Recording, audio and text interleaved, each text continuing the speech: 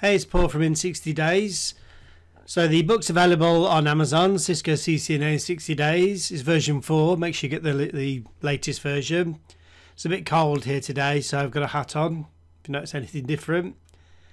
Please subscribe to the channel so you see all the other videos. We upload a lot of IT career videos and um, certification stuff. And hit the bell if you don't mind. Always, uh, if you can, like the video and drop a comment. It really helps. So we're on to day 17 and it's routing protocols. Uh, read the cram guide obviously every day. Watch the videos of the day and do any labs I ask you to do. We'll be doing more and more labs as the course goes on. I know we haven't done too many so far, but it'll go from mostly theory to mostly labs. Go to subnetting.org and do the practice questions or 101 labs IP subnetting. So today's routing basics video and then a routing protocols video. There's some books that will help you if you get a chance. They're on Amazon. Uh, Cisco CCNA Labs book is on version 4. So uh, without further ado, we'll go on to the videos. See you tomorrow.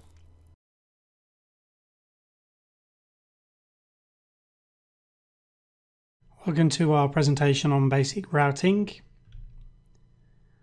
So routing protocols for the CCNA, you expected to understand a few fundamentals about how routing works, the routing table and the lookup process, and also how a packet is switched across an internetwork. So the idea of routing protocols is to dynamically learn about networks. We've seen with static routes that there's no dynamic process taking place. The administrator determines which static routes are entered and those are hard coded onto the router by the administrator and um, they don't change. So the idea is to exchange however the protocol works, and uh, as you know, each protocol works in a different way, a different format. They'll exchange information with other devices on the network. Now, depending on the protocol, the routing protocol will exchange information internally with other devices or it will swap information about external networks. Now, routing protocols do not send the data. They determine the best path for the data to go, but routed protocols actually are responsible for sending the data. So, routed protocols, um, as I said, these get routed, they send the information. Now, it does include IPX, which is now redundant really on pretty much every network. So IP is the only one we need to be concerned with. So as I said, routing is determining the best path for the traffic. Now, when we actually come to forward the packet, we have to do two things. Determine the best path, which is the job of the routing protocols, and actually send the packet. Now, whether, the, whether we're sending a frame or a packet, and the process is still called switching. So here's an example. Uh, destination IP address matches a network on one of its directly connected networks. So a packet comes in and uh, the router knows that this is a directly connected network. Checks the routing table and then forwards the packet. Now we've got an instance where a packet is received for a remote network. Again, the packet is destined for remote network, the routing table is checked, and if there's a route or a default route, then the packet is forwarded to the next hop router. Now, if there is no default route and there's not, not a network in the routing table, then the packet will be dropped. That's the default behavior of routers. Obviously, they don't start sending broadcasts trying to find out where this other device is or who owns that IP address. Another classic exam uh, question is the change of the layer 2 headers when a frame is passed along a network. On the left hand side we've got routers connecting with a serial connection using HDLC and on the right hand side it's a Ethernet connection so obviously the layer 2 header needs to change. The data obviously remains unchanged and the uh, destination source and destination address but the header obviously has to change because of the way the protocols work. Now, I've covered this elsewhere and I will be covering it also and reviewing it. But there's a you need to bear in mind what does and does not change. The layer 3 uh, address, the IP address, does not change as the packet traverses the network. The reason is if that address changed, if the source address changed on route, then the packet would be lost because it wouldn't know where it was actually intended to go. So the information that does change in order for device uh, devices to switch the packet between each other, the layer 2 source and address destination does change. So this enables the packet to be switched from device to device without the source and destination IP address changing.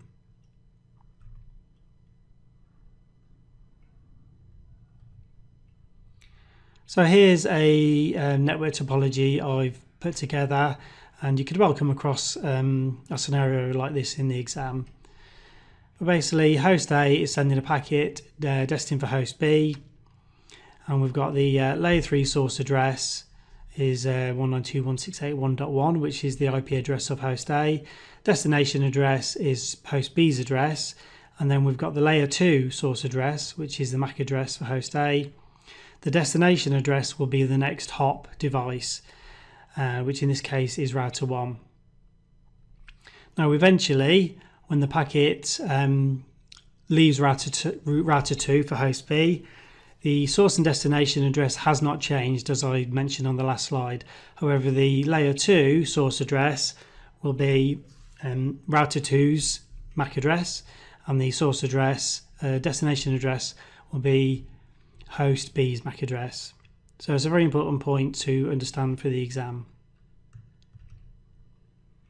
Admin distances. Um, Cisco IOS assigns a default value for all their routing information.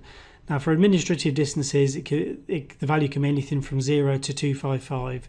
The lower the number, the more reliable the router um, believes that route to be. So I've issued a show IP route on a router and you can see in the output the uh, I've highlighted in red the administrative distance. The cost will be the second number, uh, however that router determines the cost of the routing protocol. But for OSPF the administrative distance is 110.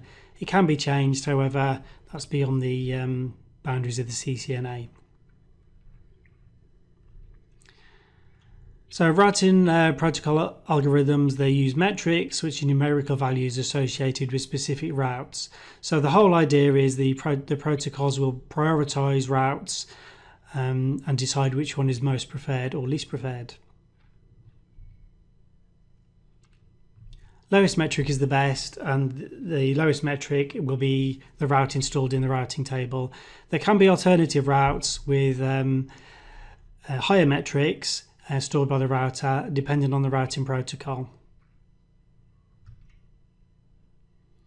Now here's a list of administrative, administrative distances that you need to know by heart for the exam.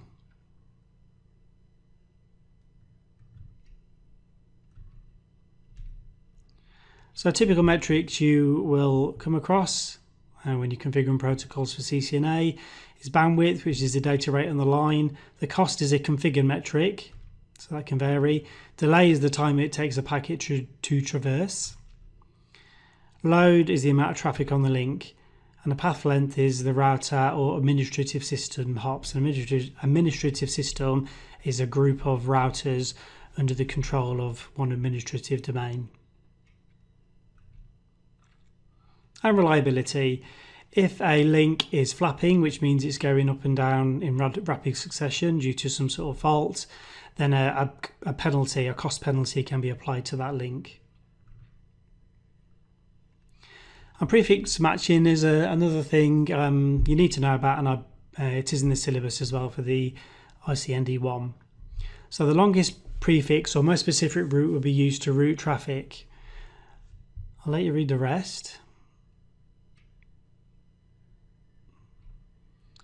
But uh, we're going to cover an example now. So don't get confused because administrative distance is the most believable route. But, but, but first, the priority will be given to the longest match prefix. So here we have a, a route learned by RIP, which is, you can see after the highlighted part has got administrative distance that's quite high, is 120. EIGRP has learned a route to the 80 network, however, it's a slash 8, so the prefix is shorter. And you can see the administrative distance is 90 for EIGRP. We've got an OSPF external route which has got a prefix of 16 bits slash 16. The administrative distance is 110. Now the router, because of the longest um, match rule, will always choose the RIP learned route.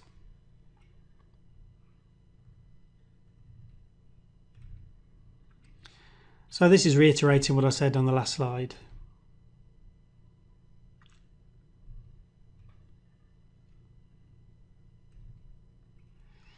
So a, pa a packet destined for address 1.1.1.1 and you can see we've got different prefix, prefixes and the order that they will be used by the router.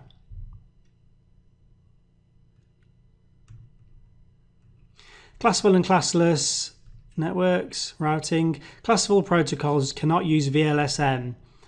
Um, these aren't actually tested in the CCNA, however, they may ask you about the difference between classful and classless. So RIP and IGRP do not understand the concept of VLSM. So the problem is they will just send, if you have a network added to RIP, for example, version 1, it will just send the um, network information but not the subnet mask. It will, do, it will presume the default subnet mask is applied. So classless protocols use VL, VLSM and examples are RIP version 2 and EIGRP.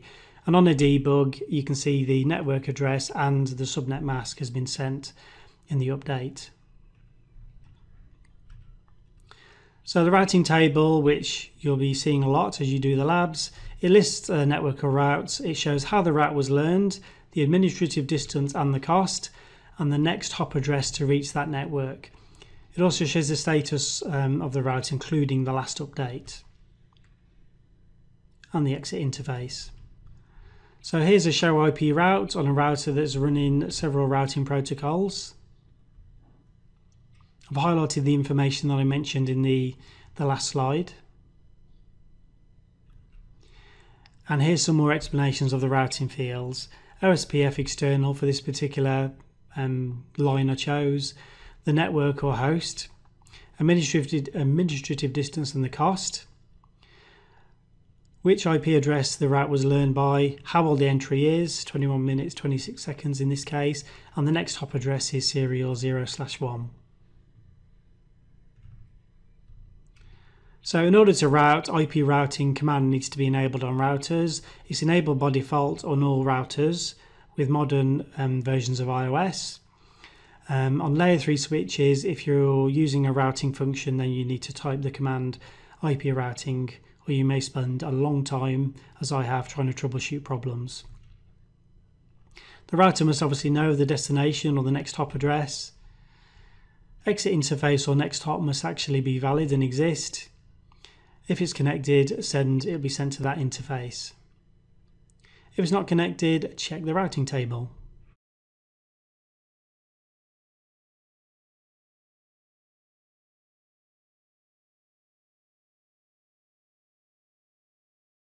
Routing protocols. So for the older version of the CCNA, you weren't really tested on this, so it was just presumed you had a, a certain amount of knowledge of what we're going to discuss. However, to reflect the new changes in the CCNA exam, we're going to cover some fundamental routing concepts and in particular distance vector versus link state and some of the things I think they could be asking in the exam particularly from um, well, my own experience in the exam, feedback from students, and also looking at what's in the syllabus and what um, what's new wasn't wasn't there before.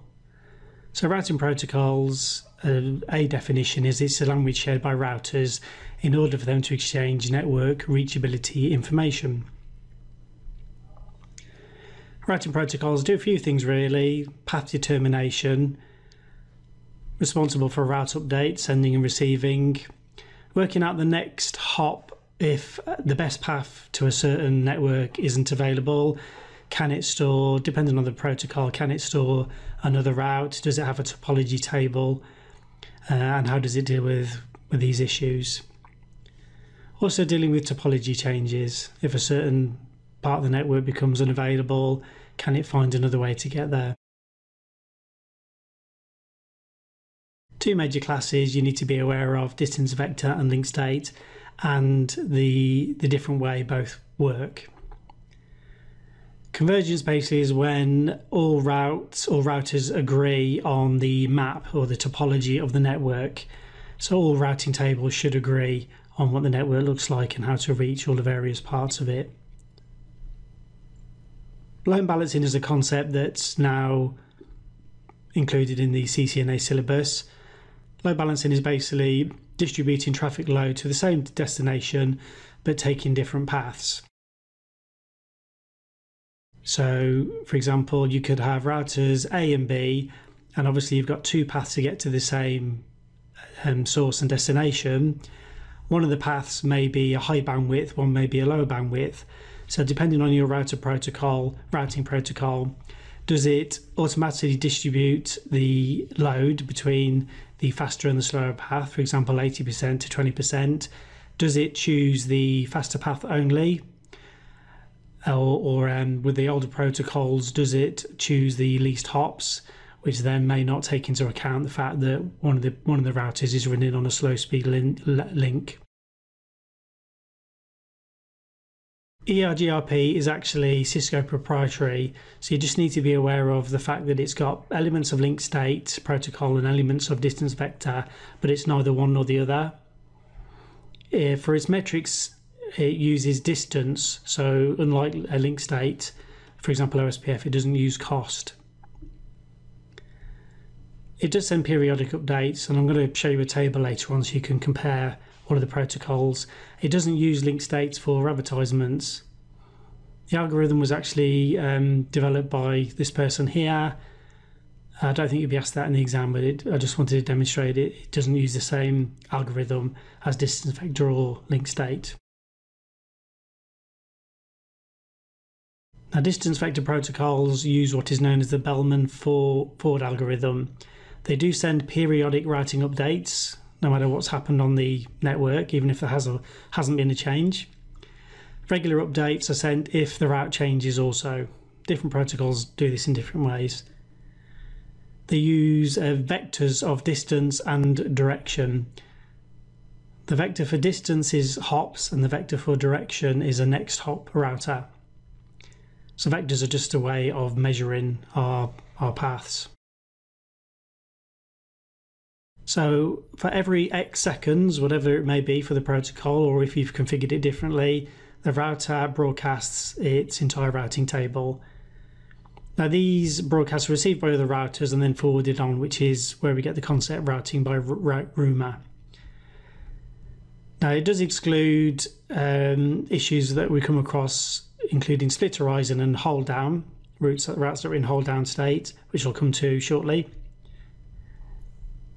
It does include uh, the metrics for routes also. The adjacent routers compare the routes received to the routes installed on the routing table and the topology table, if it has one. Best routes are stored in the routing table, obviously. The adjacent router sends out its routing table, and this process continues however many seconds the routing protocol is configured to do so.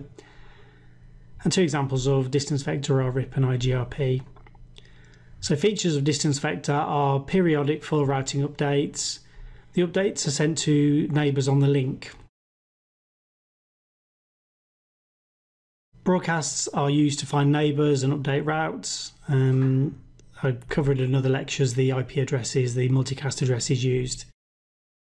And you can see RIP which I've got configured here, and the ShowIP protocols sends updates every 30 seconds, and it's running a timer so it knows the next one is due in 8 seconds time. Now in validation timers, a router can actually degrade the value of a route, and the value resets each time a route is received. So this is a form of protecting route updates on the network, and you can see for RIP, just for example, the invalid timer, the route becomes invalid after 180 seconds if no update is received. Split horizon, the concept is is to prevent the same route going out of the interface from the the same network to go out of the same interface that it was learned from. So this is basically to prevent routing loops.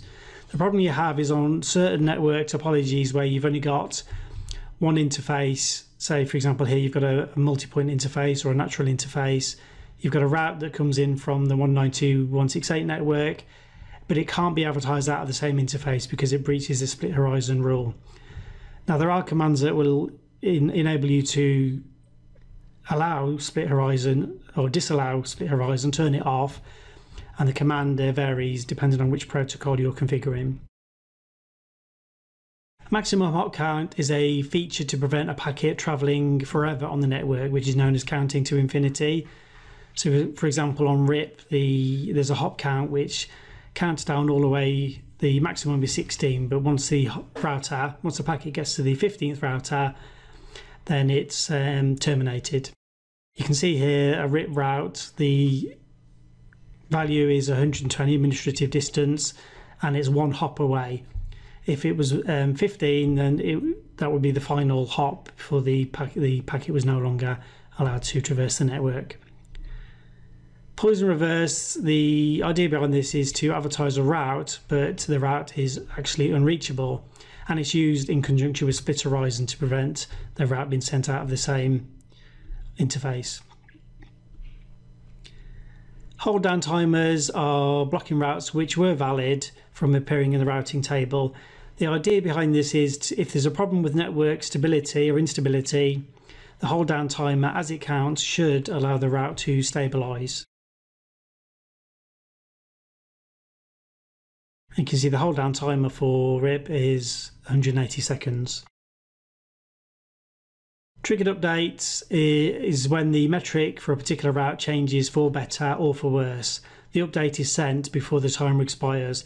So this allows our routing table to have a fresher route for a particular network. If we wait until 30 seconds, for example, that means we could have up to 30 seconds of our packets going into black holes or suboptimal routing, which is what we don't want.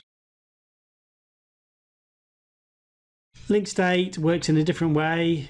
Uh, I think the pronunciation is Dijkstra algorithm. They do support VLSM and they actually form neighbor relationships. Depending on the protocol, there's different requirements for the neighbor relationship to form, such as uh, timers and passwords and autonomous system numbers. It just depends on the protocol you're using. Non-stub routers, which uh, non-stub routers are routed with only one path in or out to it, to another router. Non-stub routers see all paths to all networks. There's event-triggered updates. The link state protocols, all, all, routers create a link state database, and they do uh, all require a hierarchical topology, which I'll go into So the point behind hierarchical design is uh, before the network is actually implemented, implemented, the design takes place to have the most efficient network addressing. So if the router is summarizing, it doesn't cause uh, black holes on the network. If you've got a discontiguous network, then it basically requires more routing updates and you're introducing possible uh, routing issues. Reduces routing overhead, speeds up convergence, and if there is instability on a certain part of the network, because it's hierarchical, it's confined to a, that particular area. So link state routing, adjacency is formed with a neighbour. Link state advertisements are sent to neighbours. The link state advertisements include the route, the cost, and any neighbours. All link state advertisements are forwarded to, to neighbours and they're stored in the link state database. So your link state database is a map of the entire network. From this database, then the shortest path is calculated and the shortest path is then placed into the routing table. So neighbor discovery is the first step in the our link state networking. Hello packets, in order for this to work, must contain at the very minimum the router ID, databases are synchronized between the routers and neighbors obviously must be adjacent to each other, to one another. So I put a table just so you're aware of the differences between static and dynamic and also the features and benefits. One is not necessarily better than the other, it just depends on your network topology and requirements, and they've all got their pros and cons.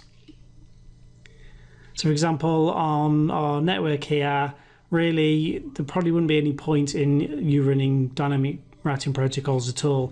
The headquarters router can advertise a summary route out to the web router. The web router has just got a next hop address to send any traffic to its ISP. If that 10 network was routable, which obviously it isn't, then the web router could also send out a, a, default route or a summarized route the, uh, for that particular network out to the ISP. And finally, I've put a comparison here of a true distance vector, which is RIP version 2, just so you've got one to see, and it's administrative distance. EIGRP in brackets up at 5 in case so you know that um, summary routes for EIGRP have a distant a different administrative distance and OSPF. So it's worth you looking at this and then probably remembering the, the various values and how each one works as compared to the other.